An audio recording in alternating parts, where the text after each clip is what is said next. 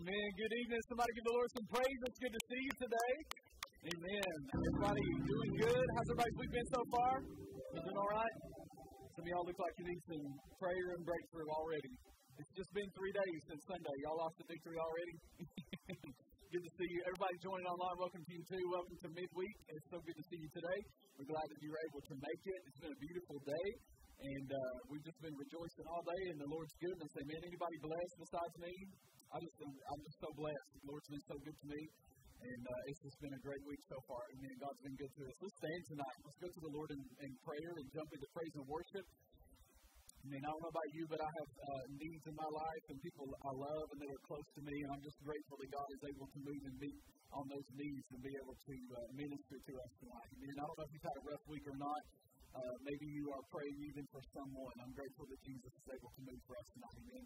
Let's just go to the Lord. Father, we just love you today. We give you praise to be in the presence of the great I am. We're thankful to be in the presence of the God who has saved us by amazing grace. I, Lord, we just lift up our hearts to you. We lift up our hands to you. And we just give you praise and we surrender everything that we have. Everything that we have to the name of Jesus. Father, we love you and we're so grateful to be here.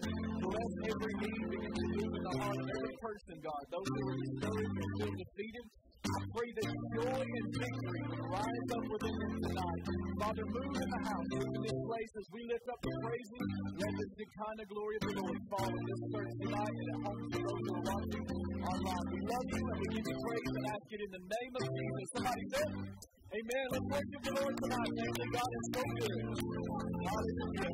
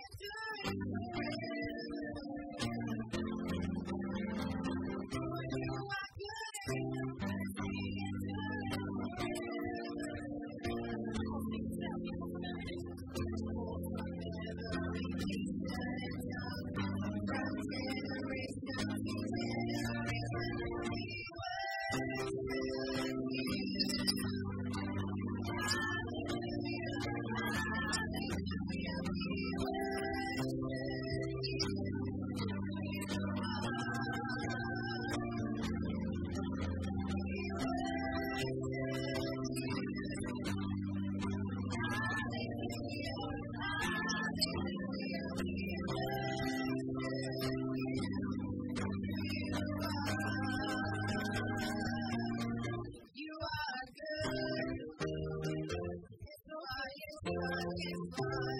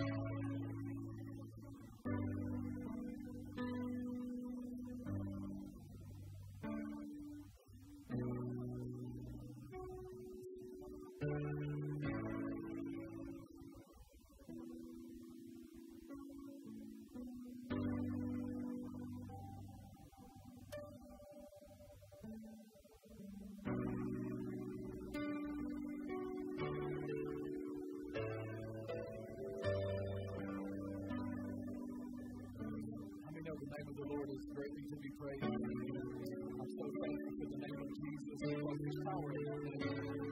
You hear any other name, a name is very significant. Names have meaning and everything. But there's only one name we can call on that we can get saved. There's only one name that can break addictions. There's only one name that can set you free. There's only one name that can liberate you from depression and suicidal thoughts and demons that torment and conquer your mind.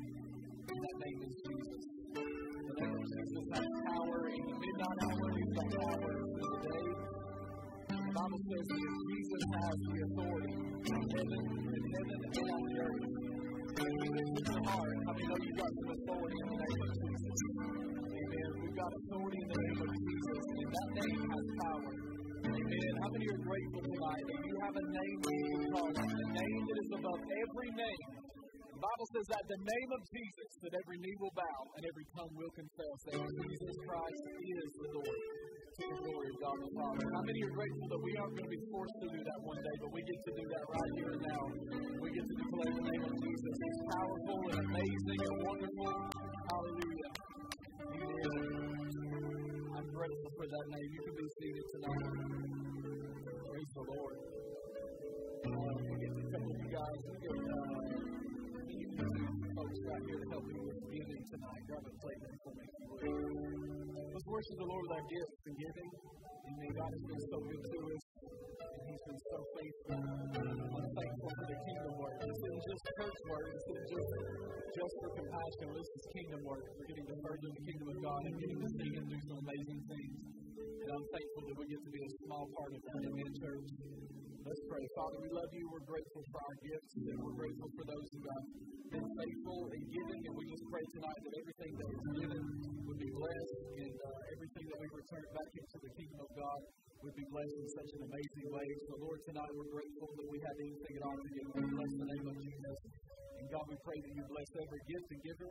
And we're thankful tonight for all these things that you've done for us. So we give back to you. And we pray these things in Jesus' name. Somebody said, Amen. God bless you as you're giving. Just want to turn your attention to the screens there. We're going to remind you of a few things uh, that's happening in the upcoming months. We'll try to get the volume there for you. Apologize. It's got just a little bit of echo there, but um, stay tuned here. Lots of exciting things coming up.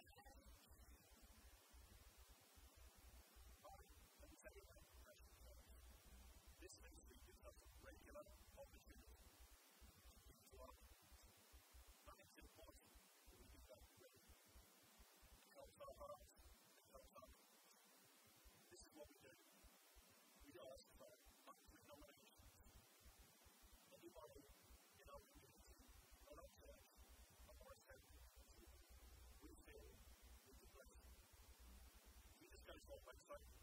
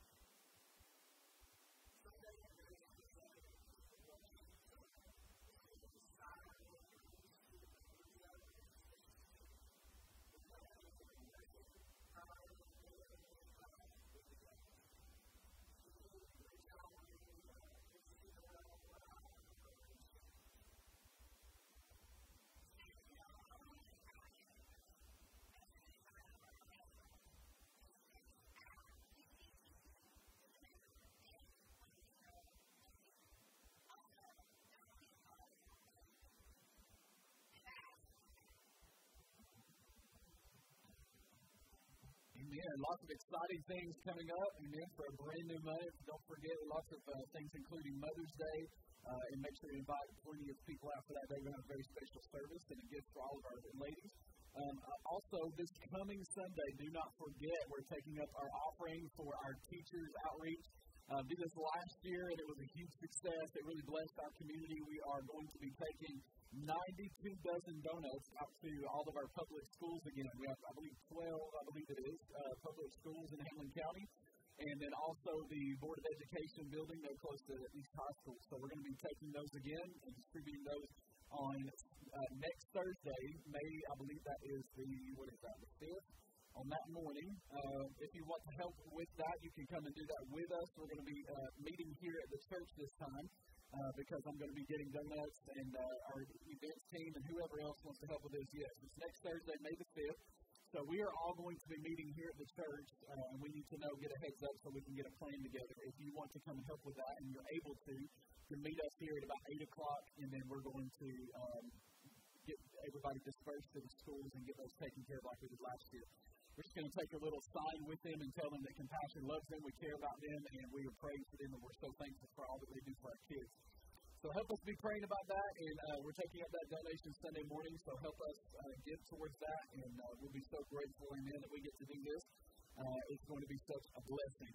Amen. So at this time, I'm going to go ahead and let our compassion kids and students and everybody that's not dismissed already can be dismissed, and we're going to jump into a word tonight, a little lesson, a little study um, I tend to do this out of the book of Nehemiah, where we're going to be about once a year, so this is going to be great. Hopefully, it's going to be great and it's going to be helpful to you. So, uh, you can be turning there if you want to with me. Nehemiah chapter 1. It's good to see everybody and everybody that's watching online. Welcome to our online church family again. I'm grateful to have you, or if you go back and watch, I know that there's several of you who still uh, are watching online. So, we love you and we're grateful to have you. Uh, before I jump in and start reading the scripture tonight, have you ever had a really big dream or a big vision maybe for your life? Something that you really wanted to do, or maybe even something that you aspired to do or had on your heart, and you uh, you just had big dreams and big visions. Um, maybe there are things that you wanted to do with a business or an opportunity that came up for you, or something that you just planned that you uh, thought would be great. Maybe it's even something to do with your retirement. I don't know what that looks like for you, but whatever you uh, wanted to do, you just had a big dream or a big goal or something that you've been working towards. Um, how many know that God loves big dreams and big visions, but He's He's a God I found out who requires us to work small, if you will, to be able to get there. And I love that because the Bible tells us that when we understand that when we when we are able to be good stewards over little things or work work over small things and take care of the smaller things, that we uh, are then entrusted with things that are much larger and much bigger and much more of a blessing. So we work small, but we have a huge outcome and big dreams. Tonight in our text, talking about that, I think we will find a very powerful visionary by the name of Nehemiah. I want to read Nehemiah chapter 1 here. There's quite a few, 11 verses here, and we're going to find out why exactly this visionary paved a road for you and I all of these years later and why this is so significant. So let's start reading in verse 1. If you don't have your Bible, you'll have it on the screen there. The words of Nehemiah, the son of Hachaliah, uh, came to pass in the month of Kislev in the 20th year as I was in Shushan, the citadel. Verse 2 said that Hananiah, one of, the bre- one of my brethren, came, he writes, with men from Judah. And I asked, I asked them concerning the Jews who had escaped, who had survived the captivity concerning Jerusalem. I'm going to explain what he's talking about just a second. Verse 3, and then he said to me, they said to me, the survivors who are left from the captivity in the province are there in great distress and reproach. The wall of Jerusalem is also broken down, and its gates are burned with fire. So it was when I heard these words that I sat down and wept, Nehemiah says, and mourned for many days, and I was fasting and praying before the God of heaven. And I said, I pray, Lord God of heaven, O great and awesome God, you who keep your covenant and mercy with those who you love, or who love you and observe your commandments, please let your ear be attentive and your eyes open that you may hear the prayer of your servant which I pray before you now, day and night, for the children of Israel, your servants, and confess the sins of the children of Israel which have, we have sinned against you. Both my father's house and I have sinned. We have acted very corruptly against you, and have not kept the commandments, the statutes, nor the ordinances which you commanded your servant Moses. Remember, I pray, the word that you commanded your servant Moses, saying, If you are unfaithful, I will scatter you among the nations. But if you return to me and keep my commandments and do them, though some of you were cast out to the farthest part of the heavens, yet I will gather them from there and bring them to the place which I have chosen as a dwelling for my name. Now, these are your servants and your people, whom you have redeemed by your great power and by your strong hand. O Lord, I pray, please let your ear be attentive to the prayer of your servant and to the prayer of your servants who desire to fear your name. And let your servant prosper this day, I pray, and grant him mercy in the sight of this man, for I was the king's cupbearer. Amen. This is wonderful. I love the words of Nehemiah. His, you can tell how sincere he is, and his plea and his cry, and what he is talking about. So we're going to break down and talk about this for just a second what is happening here is the people of, of Judah and the city of Jerusalem are now in a very terrible condition.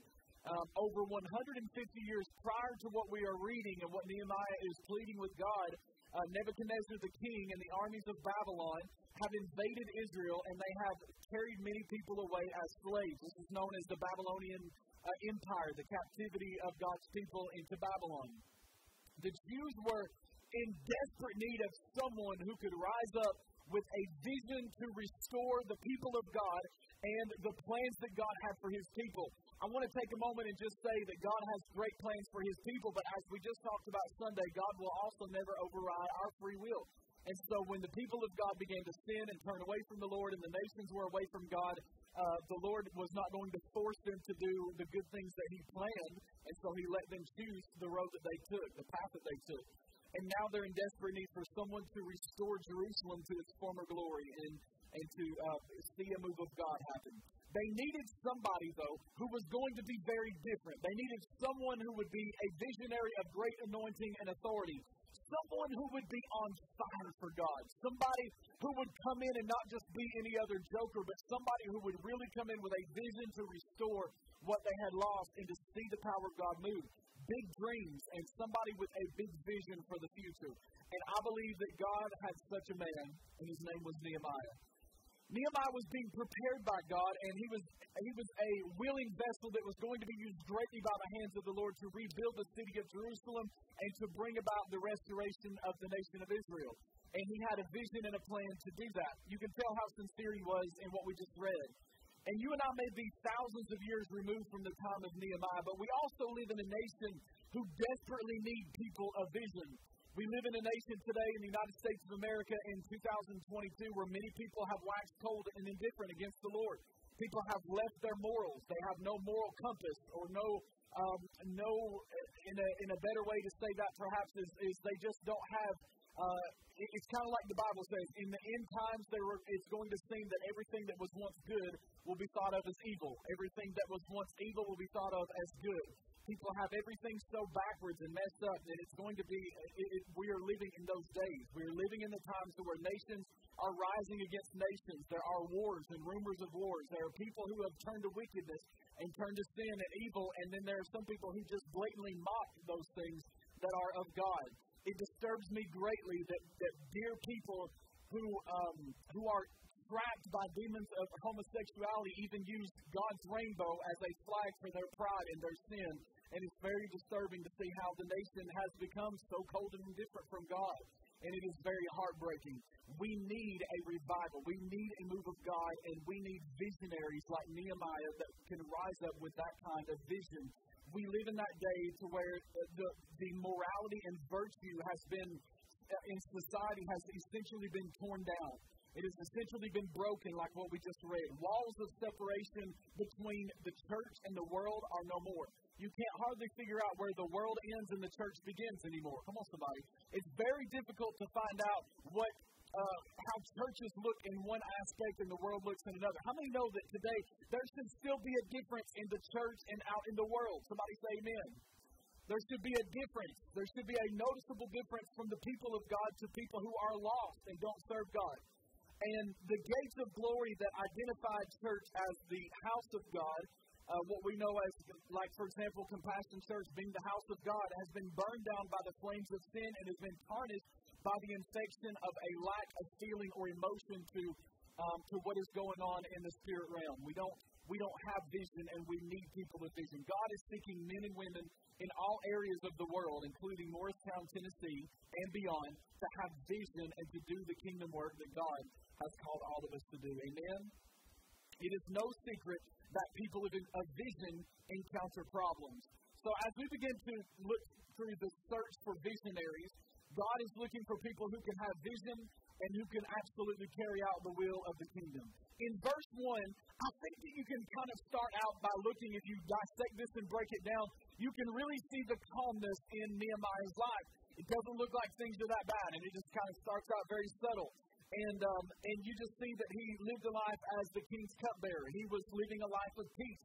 Nehemiah was living a life of even prosperity and even had political power and somewhat of authority in that uh, in that time because he was he was to ensure the king of his safety and to make sure that his meals were safe because back then a lot of times it would be common for people uh, who were an enemy of a king to poison their food and try to kill them.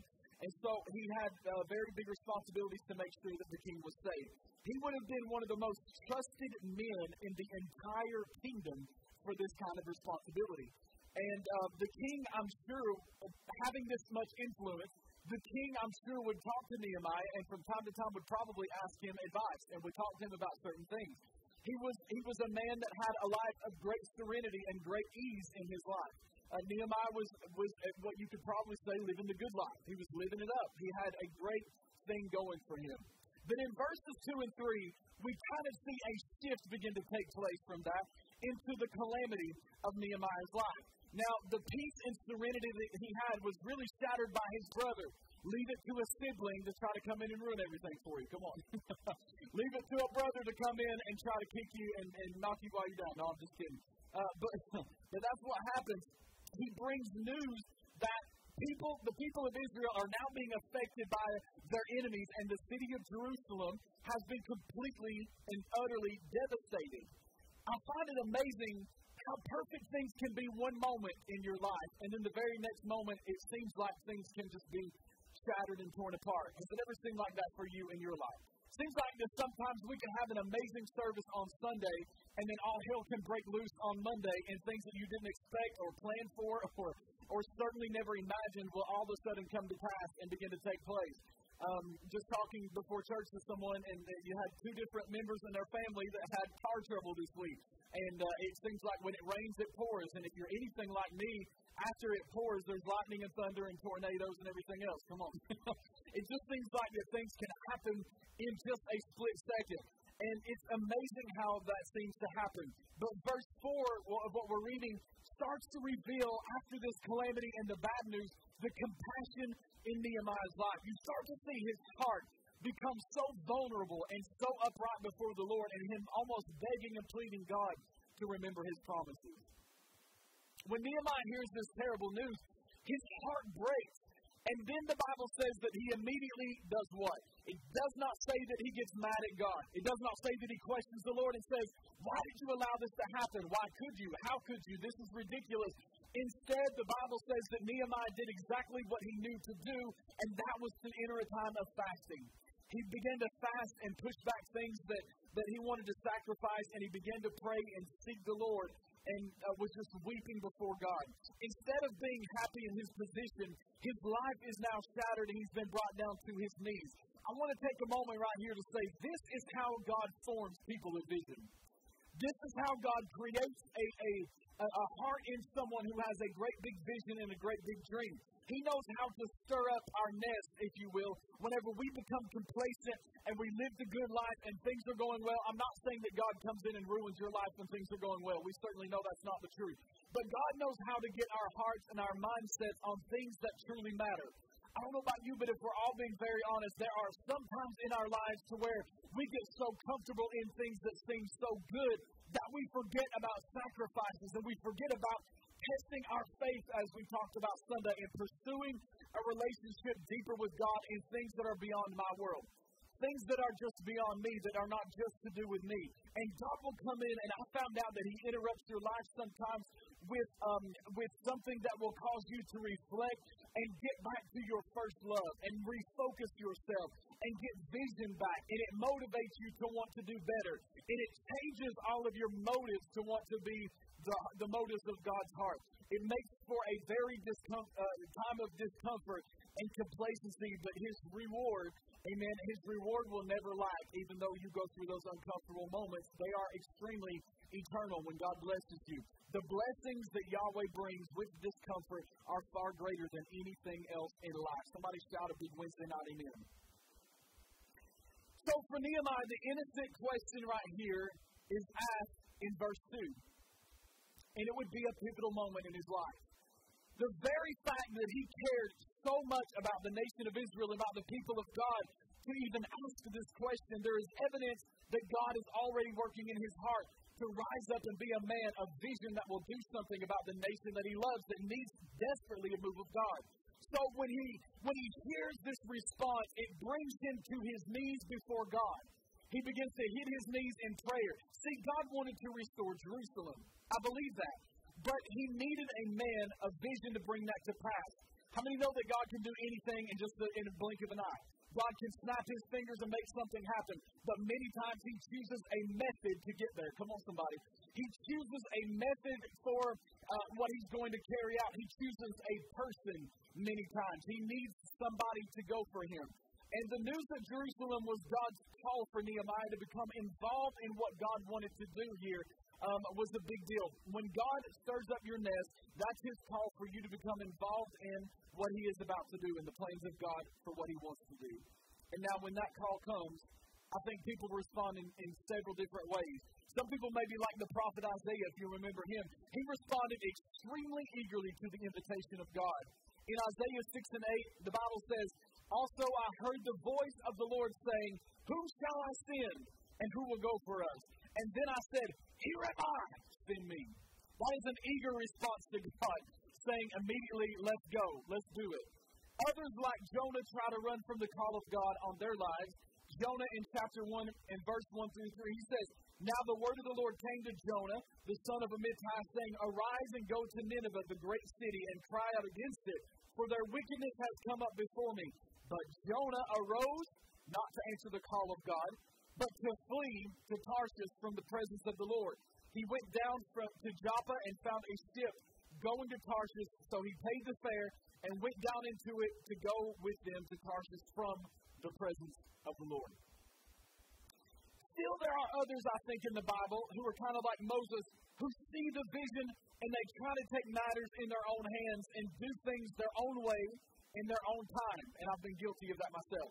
But when that, when that fails and they're all brought to a place to where they have to wait on God, the job will get done the right way. Sometimes when we try to rush the things of God, we do it the wrong way. And God never intended for us to do that. That's why patience is very important. But either way, just remember God knows how to get your attention. One of the most sobering things that I ever heard in my life was from my mother when I was a teenager. When I was a teenager, I was I was starting down a path, being a young man, trying to figure things out, and I started getting a very um, a very big head about things that I was too confident in, and I started becoming uh, almost pig-headed in certain areas, and I started bucking up against a lot of things, and I started, you know, going against a lot of things that I knew I shouldn't have, and I was trying to do things on my own, with my own terms, on my own time, and and trying to take matters in my own hands and plan my own future, and I was in many in many ways leaving God out of that. My mom looked at me one day and she said, "You need to be very careful because God will humble you one way or the other."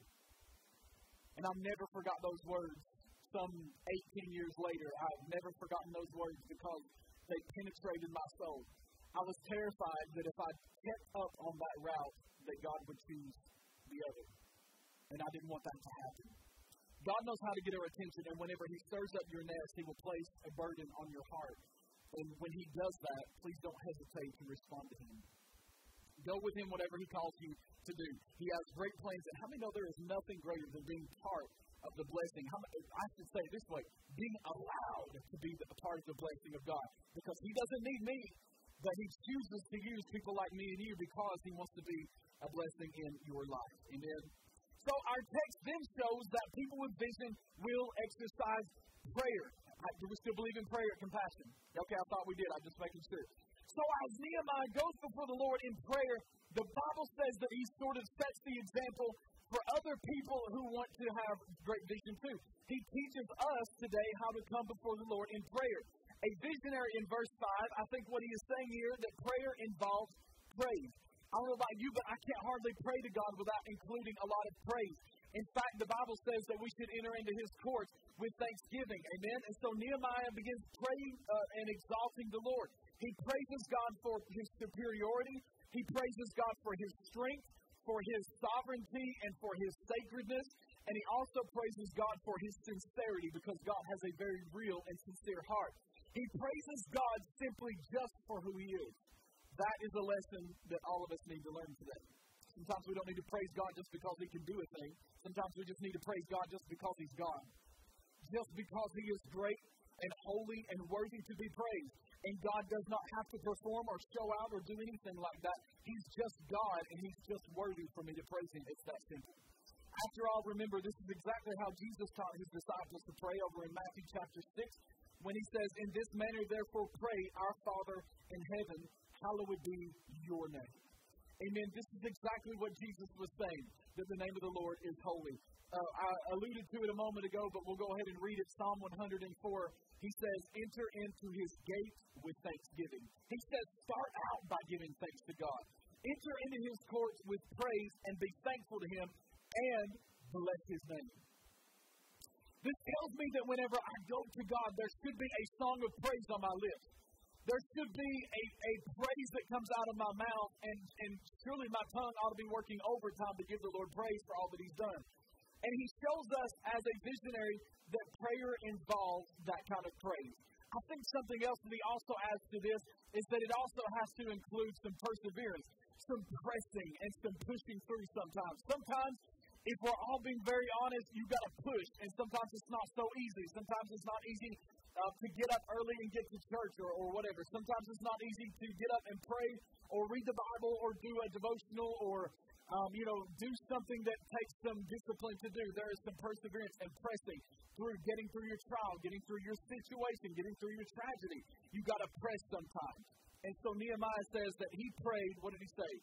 He prays day and night before the Lord. He prayed until the answer came. He didn't just pray once, he prayed until God gave him an answer. That is the kind of praying that I think churches need to demonstrate today. Instead of just saying that, because one thing that drives me crazy is people oftentimes will say, Pray for me, or pray for this one that's my loved one who is sick, or pray for this situation, or pray for that. And people are almost shocked whenever God actually moves and answers their prayer request. It drives me crazy. We should almost be much more surprised when it doesn't happen. We should expect it to happen. That's what faith does. It's not the kind of prayer that just stops after a time or even two, but it's the kind of prayer that ought to go forth to God and then stays before the Lord until it has seen what it came after. Come on. There's not one time, amen, that I should come up there and just say, one time, Jesus, deliver me. One time, Jesus, save my spouse or save my kids or, or bring healing for me or whatever. But it should be over and over and over again. My prayers should be ringing the bells of heaven, as we say. It should be echoing through uh, the throne room of grace over and over. That's what Jesus called us to do.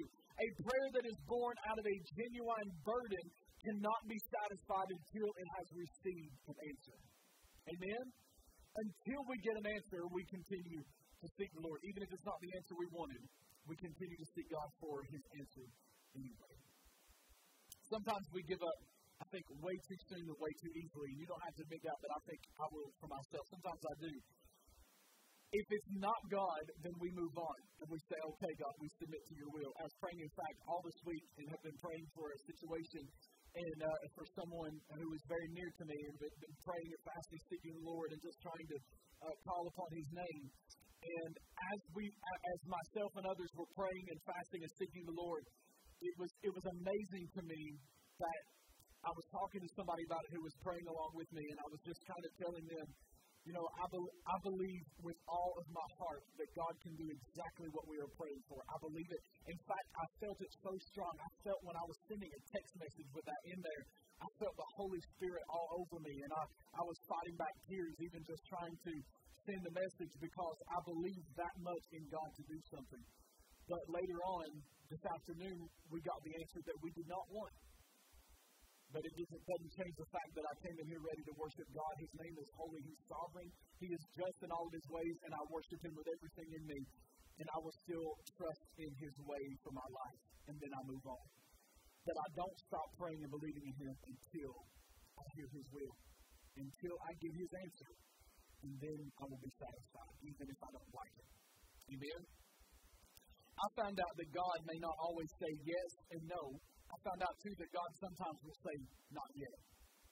God will sometimes say, wait just a little bit longer. And God may say, I want to see what you do while you're waiting. Because it's easy when God just says, bam, here you go, there's the answer. It's so much harder to tarry and wait and just try to see what's going to come of it when you don't know. What will you do? How do you respond to that kind of test? How will we, will we worship God and praise Him and just give Him glory, or we get so frustrated and aggravated that we start drifting away? For those of us who tarry and wait, keep on asking and keep on seeking and keep on knocking and worship anyway. All of those things, I believe that we will still see the blessing and the glory of God. Amen. And it's very important that we do that whenever we talk about this kind of uh, this kind of discipline in prayer. Amen. So then the next part, if we're breaking all this down and unpacking a very large suitcase of what he just said, um, I believe that the next thing that we should say is uh, together. Let's say together in unison. Everybody say repentance. Repentance. This is a huge word loaded with great meaning and significance from heaven. A visionary prayer will involve repentance every single time. As a man prays, as a woman prays and begins to seek God and then confess our sins and flaws and our wrongs in our life, and God knows we all have them, as an individual, uh, not only for our individual sins, but even the sins of an entire nation. There are some things that I repent of as a whole for our nation that I have not personally been involved in. But I do that because I know that there are sins in our nation. I love this country. I love the United States of America, and I still believe in us, and I will still pray and seek God for revival, even in the midst of, of somewhat of chaos and things that are very uncertain, and a 40 year record of inflation and all sorts of other things that are going on. I still seek God for His glory and for his power and for revival in this nation. And, uh, and what Nehemiah was doing here was confessing sins that he didn't even commit. These, the Bible we just read in Scripture, were the sins of his fathers, the Bible says. He was a man, though, that came before God who was praying and fasting, and he had a heart of repentance. Family, this is essential if we are ever going to see prayers answered. God wants to see a heart of repentance. And then a heart that is repentant towards Him. Not just to see where everybody else is going wrong, but also he wants us to he, he wants us to see where we are uh, where we are physically and spiritually, and then where God Himself is going to uh, where God Himself is going to take us. Because if we don't get real with God and sometimes acknowledge, hey, that was my fault. That situation I just went in, that was nobody's fault but my own. That was nobody's fault but me because I made a bad choice. We blame everything on the devil. We give him so much credit sometimes, and sometimes it was just me making a stupid decision. Come on. Sometimes it was just me making a bad choice and, and falling into a sin trap that I should not have done. And this is where we have to admit sometimes I just missed the boat with God. I missed it. I did the wrong thing. Repentance is about me getting my heart right with God. Somebody say amen. Repentance doesn't just get me a quick pass to I just say, hey, God, it's me. I repent. Listen, I need you to start moving for all of my needs now. Repentance is something so much different because it shows me my sin and my wrongdoing in my own heart, and then it allows me to be forgiven because of the precious redemption in the blood of Jesus. And then it prepares my heart to be stronger the next time that that thing approaches me so that I'm better than I was before. Remember, repentance is not just saying, I'm sorry. Repentance literally comes from the Greek word metanoia, which means to have a change of heart or to change your mind. It means to change things and to be different. So that's what he does. His prayer involves repentance. As you go back down into start to finish this up in verses 8 through 10, his prayer that he is begging God for in the nation of Israel also involves promises. How many are so thankful that God has promises for you? I'm so grateful for the promises of God. Now, Nehemiah begins to remind God of his promises that he makes to Israel. He reminds God, and I love that because it's not that God, God forgets, how many know sometimes you got to remind yourself and you got to call him out in prayer to let God know that you still trust him even though you haven't seen it yet? I still trust God on promises that I believe that I have not seen that I've been believing for for many years. And I still call them out not because God has forgotten them, but because I need to remind myself that those promises are still there. So it was promises that God not only said that He would punish them for their sins, because of what they've done wrong, but he also says that he would restore them in the event of their repentance. Aha! Now it ties back in. Now we're coming back full circle. As Nehemiah begins to pray and seek God, he reminds him that it is, is not his it is not just the effort of himself, it's not just his work, because he might be destined to be the star of the show. Nehemiah might be destined to lead the whole nation. He might be destined to be the greatest visionary that there ever was. But in the same sense, it is a it is a uh, this prayer and this fasting and seeking God is a thing that was going to have to include all of them.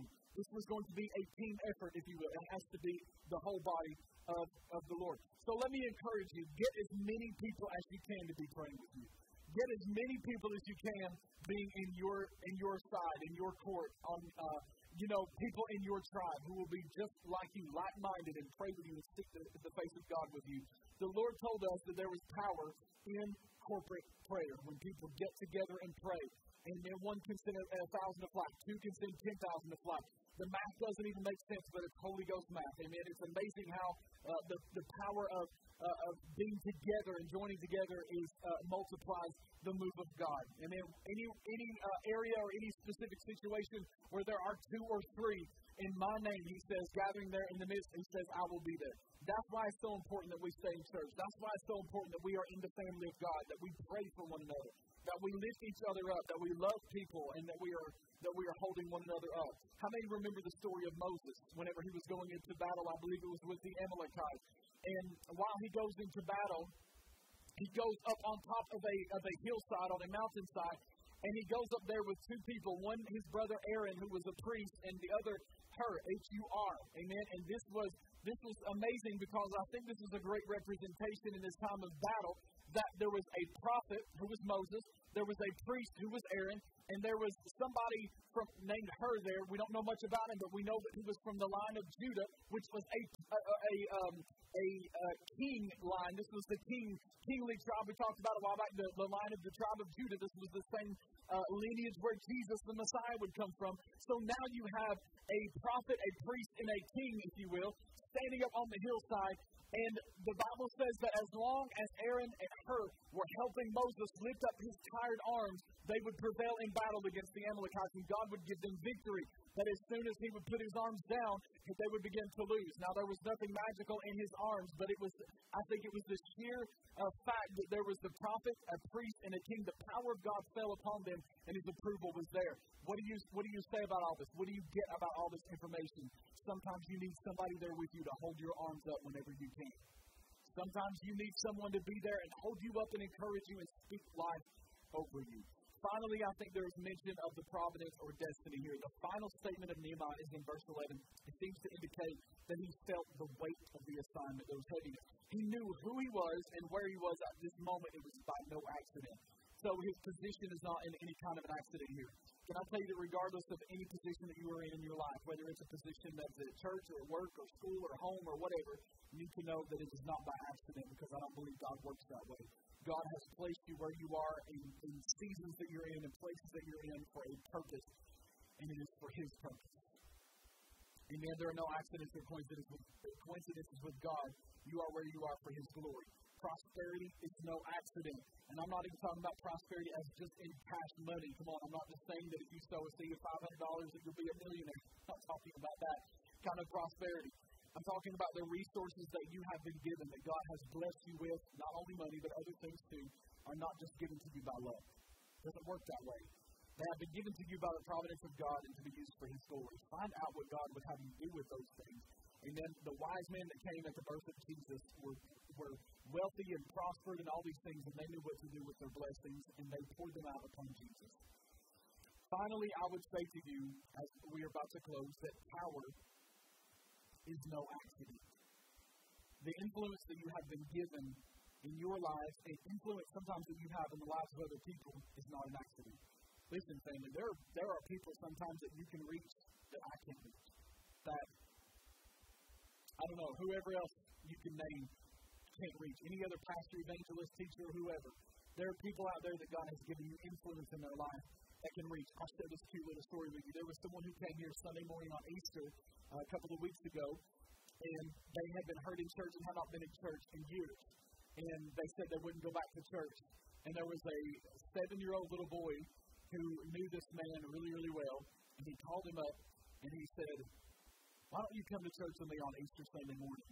I want to see you there. And he said, Yes. And he was here on Easter Sunday morning and got to hear the gospel ministered and preached to him because a seven year old boy had influence in his life. He was able to reach him. You never know who you can reach that somebody else can't. You think if I had called and invited that man who didn't even know me, do you think he would have really come? Of course not. But a seven year old boy had influence, and he was able to come and hear the gospel. Amen. God has you where you are for a purpose. God has given the ear of someone else to you for a purpose so that you can speak into that. Allow him to use you where you are for his glory. I'm going to close with this quote uh, from Vance Havner. He was an evangelist in North Carolina in the early 1900s, and he said this. He said, I think I thank God for the unseen hand. He says, sometimes urging me onward, sometimes it's holding me back, and sometimes it is with a caress of approval. Sometimes it's with a stroke of reproof, and sometimes it is correcting, but sometimes it is also comforting. And my times are all in His hand think this is very important for us to remember as we serve God. Would you agree with me that we desperately need people of vision in this day today? Vision is something that is so hard to attain right now because the devil is fighting the church. Tooth and nail, trying so hard to stop vision because he doesn't want the kingdom of God advancing in the earth. People are desperate for vision right now. People are, are starving to death for something, for vision, for real, for authenticity. And I think that's why we need visionaries today. I think we all need people who will be in touch with God for people on the, on the behalf of other people and who will be moved by God from the heart of God to see people uh, into the kingdom of God. We need that kind of people in our families, in our churches, and in our nations, our communities, certainly. And I think those are the kind of people who God will use to change the entire world. You say, well, I'm in Morristown, it doesn't matter. You can still change the world around you wherever you are. Amen. The question that we face tonight is do you really want to be one of these people? The search for visionaries is on. God is looking actively. But do you want to be one? If you do, then you need to realize that God has you living in this day and age, this time, wherever you are, for a purpose. This is your season, this is your moment, and God may have given you influence or something that you can do that will change somebody else. You need to get before Him and find whatever purpose that God is trying to use you in, in this season of your life and catch His vision for that because you can affect someone and see that purpose fulfilled. I believe that God will use you, amen, if you allow Him to use you. If you will be available, God will respond. Father, we love you today. We give you praise. We're grateful for vision. We are so thankful that you are still speaking to the hearts of men and women today. You are still calling people out of darkness and into marvelous light. You are still calling people to give vision where there are so many who are desperate for it. They have been blind and they are not able to see. God, today I pray that you would make all of us tonight people of great vision and have anointing and grace and favor to be able to reach those who seem unreachable. God, we, we just ask tonight for the favoring grace of the Lord Jesus Christ to be on every single one of these people here or watching online. Lord, just let the favor of God be upon us as we try to help people. Apostle Paul said that by all means, everything that we do, we are just trying to at least reach some. God, we may not be able to reach everybody, but let us reach some. Let there be some people who we can affect and who we can see uh, blessed by the kingdom of God and have the anointing of the Lord on their lives. Jesus, help us to reach the one that you are looking for us to reach and be a blessing to someone else. God, we love you. We're grateful tonight for your spirit. We're thankful for the way that you're moving in our church, in our families, and in our futures. And we give you praise for it. In the name of Jesus, we pray. Somebody said, Amen. Bless you, family. I love you all. I hope you have a wonderful rest of your week. Don't forget Sunday morning teachers offering. We're going to be a blessing to our community next Thursday morning on the 5th at uh, 8 o'clock. We're going to meeting here around 8 a.m. and trying to head out shortly after we get our plan together and get everybody set up. So be praying about that. I love you all. Invite somebody to be here Sunday morning. Let's have a great day in the Lord. And uh, until then, I will see you Sunday morning. Bless you, online family. Love you all too. And I hope you have a good rest of your week. God bless you.